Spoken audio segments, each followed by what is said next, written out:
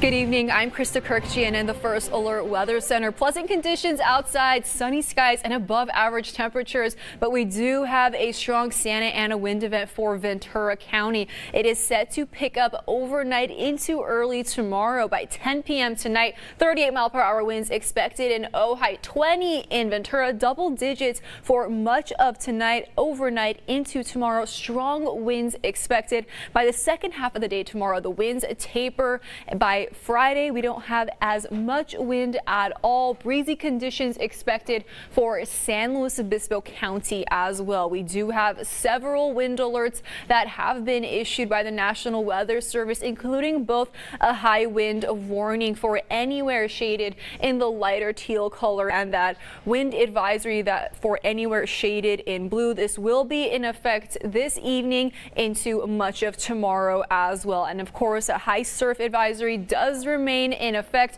due to dangerous rip currents and that increased risk for drowning. It will be in effect until 6 p.m. today for Ventura County's beaches and until 10 p.m. tonight for the beaches of the Central Coast. And take a look at those daytime highs tomorrow. Very pleasant conditions. We're staying nice for a few more days. 65 degrees in Santa Barbara tomorrow, 63 in Summerland, 65 in Goleta as well. More of the same for North County. Daytime temperatures primarily in the 60s. Overnight overnight lows do remain primarily in the 30s and 40s. And take a look at San Luis Obispo County. 70 degrees expected in San Luis Obispo tomorrow. Mid to upper 60s in Pismo Beach, Arroyo Grande, and Nipomo. And to accompany the gusty Santa Anas tomorrow, we are expecting high temperatures primarily in the 70s for Ventura County. Have a great rest of your night.